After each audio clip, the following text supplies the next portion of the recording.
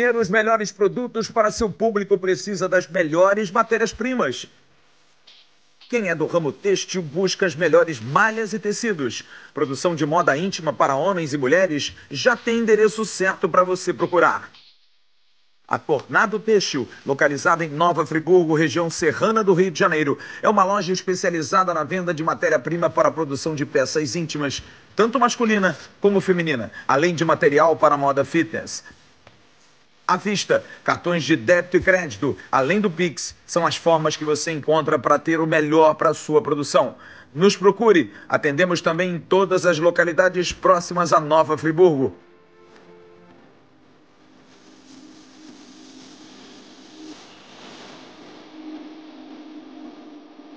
Endereço na tela. Tornado Têxtil, vestindo melhor e mais confortável. Você lembra qual foi o último gol que o Vasco fez em cobrança de falta? Faz muito tempo. Já posso te adiantar que não foi do Nenê. Eu quero saber se você sabe essa resposta. Já já eu te conto aqui nesse Bom Dia Gigante. Mas antes, solta a vinheta.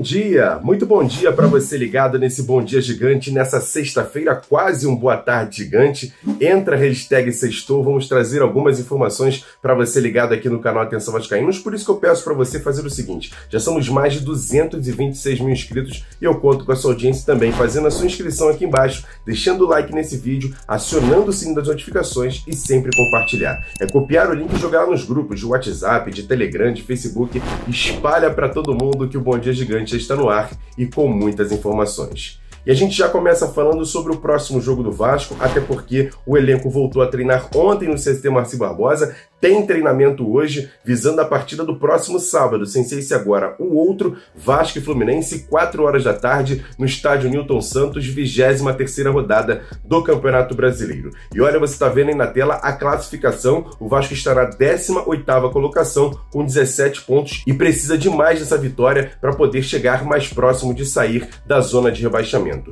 Lembrando que você está vendo agora na tela todos os 17 jogos que o Vasco faltam para terminar o Campeonato Brasileiro brasileiro é muito importante porque a tabela é bem complicada, tem alguns jogos em casa, mas tem muitos jogos fora de casa, então o Vasco precisa vencer essa partida contra o Fluminense, já que o mando de campo é do Vasco, precisa de mais da torcida lá no Newton Santos para conseguir esses três pontos que serão muito importantes. Só para você ter uma ideia, todos os sites especializados estão apontando o Vasco com quase 70% de rebaixamento. Você está vendo aí na tela a arte que a gente fez com todos os sites. No chance do gol, ou a chance de rebaixamento do Vasco é de 70 61,8%. Espião estatísticos do Globoesporte.com, 63%. No Infobola, 70%. E probabilidade no futebol na Universidade Federal de Minas Gerais é de 69,6%. O que, que você acha? Acredita que o Vasco consiga se safar, mesmo com essa porcentagem alta de risco de rebaixamento? Eu quero saber a sua opinião. Comenta aqui embaixo que é muito importante.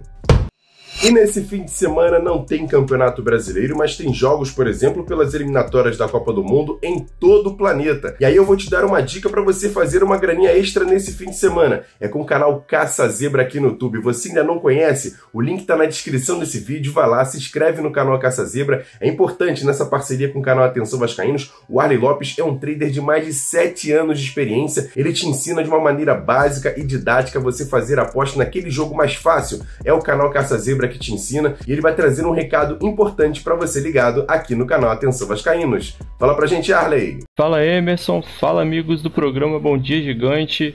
Um bom dia para todo mundo que está acompanhando a gente aí. Ô Emerson, eu vou trazer um palpite exclusivo hoje aqui, com certeza, mas primeiro eu gostaria de agradecer aí a live de ontem, né, que nós fizemos aqui, onde a gente pôde apresentar aí o software do Caça Zebra uma ferramenta muito bacana, uma ferramenta de apoio ao apostador que entrega para o apostador as melhores oportunidades de apostas através de um algoritmo inteligente de busca de melhores estatísticas nos jogos de futebol, né? Então, eu gostaria de convidar você que não assistiu a live ontem a acessar o canal do Caça Zebra. Chega aqui no, no canal do Caça Zebra. né? Aproveita e faça a sua inscrição, segue a gente aqui, dá essa moral e assiste os vídeos do canal Caça Zebra. Procure o link aqui para você poder acessar o software do Caça Zebra e você faz o seu cadastro e vai ganhar 7 dias de acesso grátis. Mas essa promoção vai estar valendo somente hoje, tá pessoal? Quem fizer o cadastro hoje, beleza? Então chegue aqui, faça o seu cadastro e ganhe 7 dias grátis, beleza? Agora eu vou deixar aqui o palpite para vocês aqui nessa sexta-feira. Nós vamos de Brasileirão Série B, Ituano e Vila Nova. E para esse jogo aqui, over 1.5, né? Dois gols no jogo, cotação de 1,70. Tá bacana demais essa apostinha. Então, galera, é isso. Eu vou ficando por aqui. Espero vocês aqui no canal Caça Zebra e eu tenho certeza que vocês vão gostar muito da ferramenta, bacana demais, pessoal. Agora sim, fui!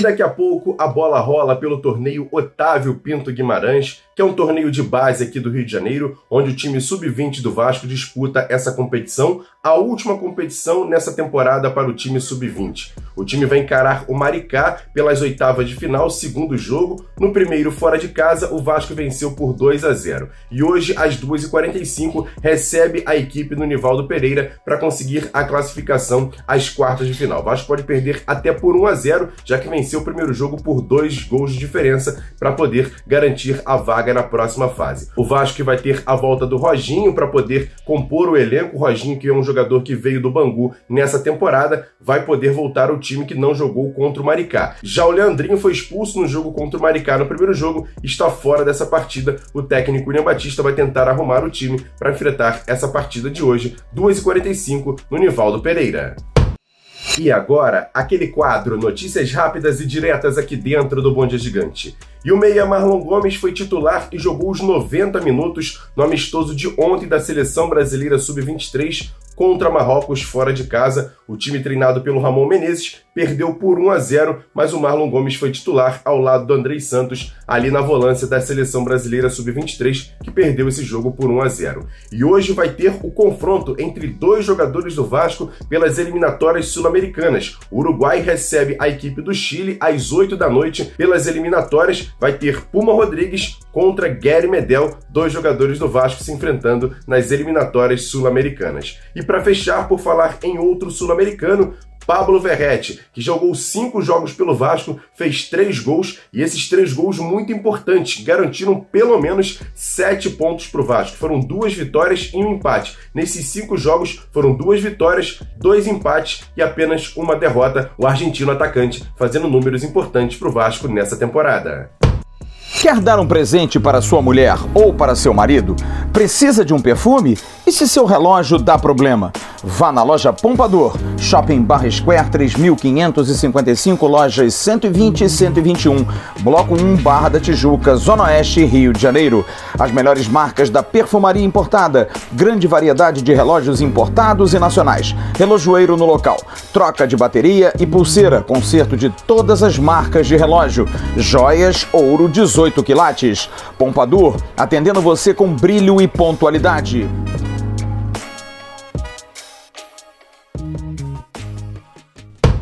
E para fechar esse Bom Dia Gigante, vamos falar sobre o assunto desse programa.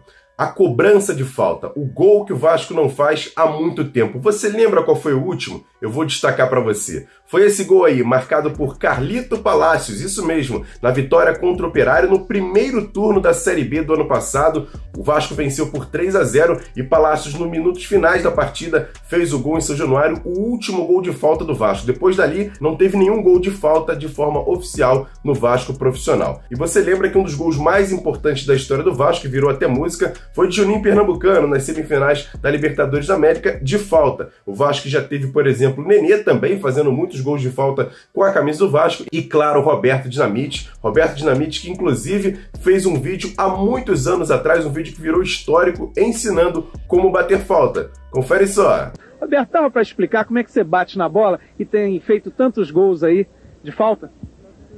Eu acho que não é difícil. Bom, mas é difícil para você, né? É claro, eu acho que eu tenho essa facilidade. Não que eu queira. Não, mas são poucos jogadores no Brasil que tem a facilidade de bater na bola com perfeição. Então vamos caminhar ali, que, caminhar para cá e dar uma explicação aí de. A bola com carinho, a bola tem que ser tratada com carinho. É. Sempre com carinho. É, sempre com carinho. Então, para mim, eu que tenho facilidade, não preciso tomar muita distância, meu chute é meia força, né? E mais colocado. É só isso aqui, ó. Dá para pegar aí? Um, dois, três, quatro. Acabou. E procuro olhar o goleiro. Então o momento da concentração do goleiro. Acho que ele está tenso, esperando a bola. Então você espera aí uns 5, 10 segundos.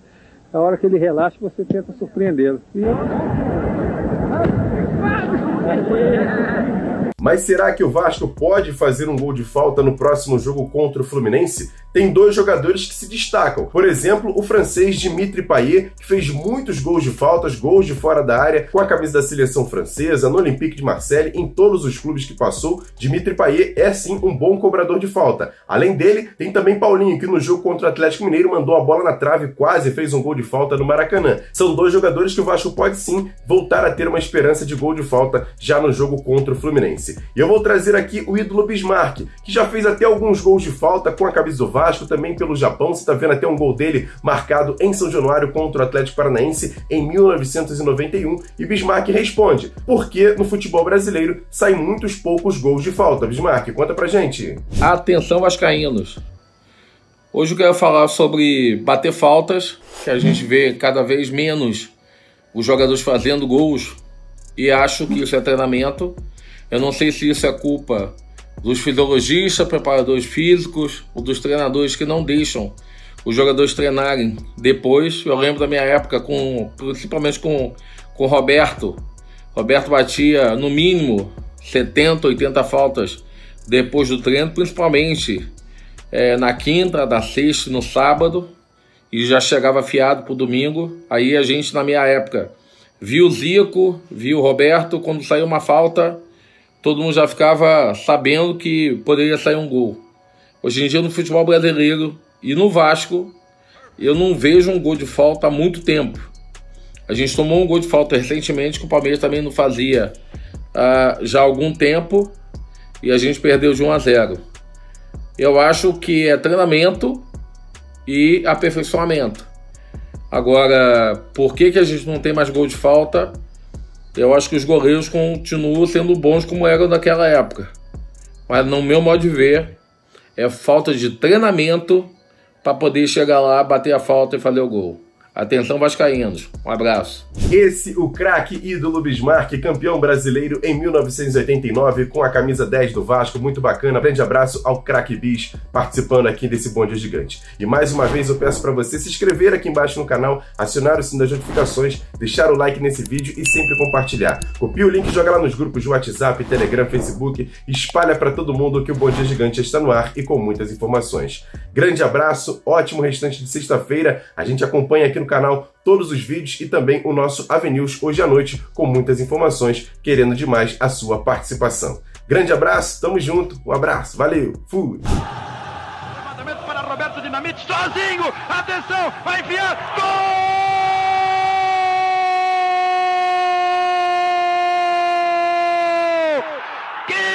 Golaço maravilhoso do moço que mora em Caxias!